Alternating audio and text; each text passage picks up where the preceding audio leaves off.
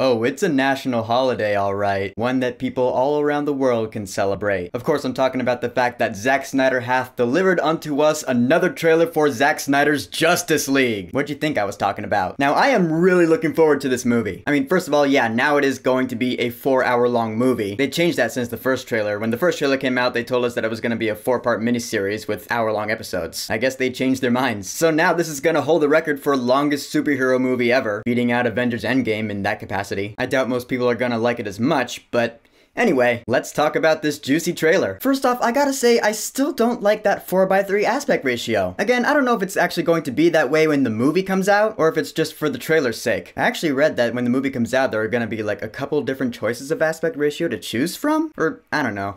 I have no idea. It's not the end of the world if this ends up being in 4x3. I'm just saying there are two way better formats in which you could present this movie. Widescreen or full screen. I don't know. I get that Zack Snyder has always been one to be stylistic, and I do like a lot of the style in this trailer, but the 4x3 is not part of that. I'm just saying. So this trailer starts out and immediately the tone is very different from the first trailer we got. The first trailer was all like, hallelujah, and we're all like, yay, this movie's finally happening. It was hopeful, it was uplifting. Now it's like, God is dead, and the harbingers of death are gonna come from above and kill us all. It's just funny. It's a cool tone for sure. Zack Snyder even said that there are gonna be hardly any jokes in this movie, which, alright, thanks for telling us in advance. Now we know what we're in for. We're in for a four hour serious superhero movie full of Zack Snyder style. It's an acquired taste for sure. Interesting thing though is that when you see Superman dying from Batman v Superman, you see the sound waves going out and you hear Superman's like death cry. So it's like his death cry could be heard around the world or something. I guess it makes its way to Themyscira, because you see Queen Hippolyta, it looks like she hears it, and you hear Lex Luthor's dialogue going from Batman v Superman. He says, The bell's been rung. Across the stars, people know now that God is dead. So it's like Superman's death is a signal to other worlds that Earth is ready for a higher form of war.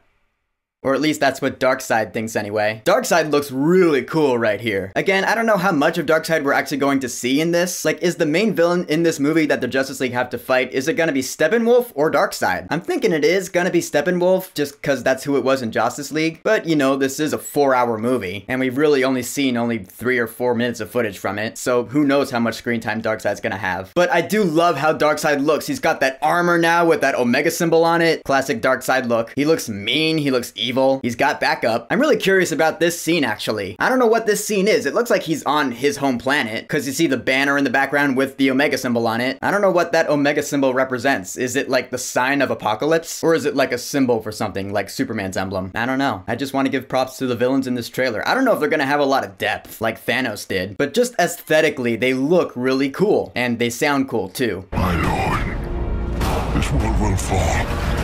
Steppenwolf certainly looks and sounds a lot more menacing. Cause no matter what your opinion was on the theatrical cut of Justice League, I'm pretty sure everyone agreed that Steppenwolf was one of the worst aspects of it. He was such a generic villain, it hurt. So in this version of Justice League, I don't know if Steppenwolf is gonna have more depth, but just the fact that he looks and sounds more menacing, plus we see Darkseid, that gives me some hope that the villains are gonna be more fleshed out here. Maybe, possibly. When watching this trailer though, I did notice that there were some shots that were in the theatrical cut. More shots than I thought there would be. Yeah, I've watched it enough times to recognize them. So if for nothing else, there will be some familiarity in this movie. I guess in some aspects it will follow the same basic outline as Justice League. Maybe. I don't know if that's a good thing or a bad thing. For me, it's alright, because again, I did not hate the version of Justice League that we got a few years ago. So, cool. And I just love seeing Superman in his black suit, dude. That is just so badass. Seeing him gathering up his energy and taking off and shooting that heat vision, dude. I will be honest, I did really like Superman in Justice League. When he came back and was fighting Steppenwolf, I actually thought that was really cool, because he did act a lot like the Superman that I'm familiar with. In this version, I don't know if he's going to be as, you know,